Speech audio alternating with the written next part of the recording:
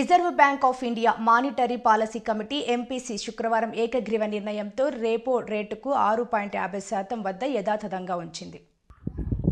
అయితే గవర్నర్ శక్తికాంత దాస్ ద్రవ్యోల్బణాన్ని దాని నాలుగు శాతం లక్ష్యానికి చేరువ చేసేందుకు బాండ్ విక్రయాలను ఉపయోగించి లిక్విడిటీని కఠినంగా ఉంచుతామని సంకేతాలిచ్చారు.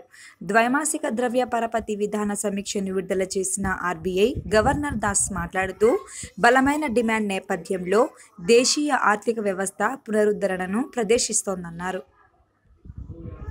This year in the first quarter, the headline inflation moderated to 4.6%. A significant uh, easing of inflation pressures from its exceptionally high level in July and August is expected to materialize in September as the impact of fleeting food price shocks wane. Further, underlying inflation pressures are also moderating while the impact of past monetary policy actions is still unfolding. Even so, indications are that throughout much of the third quarter of the current financial year, food inflation pressures may not see much easing, or rather may not see sustained easing. External factors like energy prices and financial market conditions continue to be volatile.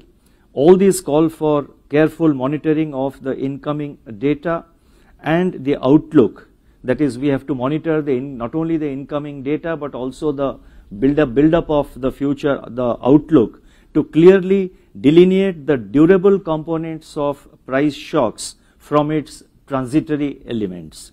Monetary policy has to be in absolute readiness to take appropriate and timely action to prevent any spillovers from food and fuel price shocks to underlying inflation trends and risks to anchoring of inflation expectations. These are non-negotiable necessities. I would now like to turn to liquidity and financial market conditions. As I have reiterated several times in my previous policy statements, excessive liquidity can pose risks to both price and financial stability. To ensure that liquidity conditions evolve in sync with the monetary policy stance, the Reserve Bank, as a temporary measure, had imposed an incremental cash reserve ratio, that is ICRR, of 10%, which impounded about rupees 1.1 lakh crore from the banking system. The ICRR was reviewed on September 8th and is being discontinued in a phased manner ending October 7th, that is tomorrow.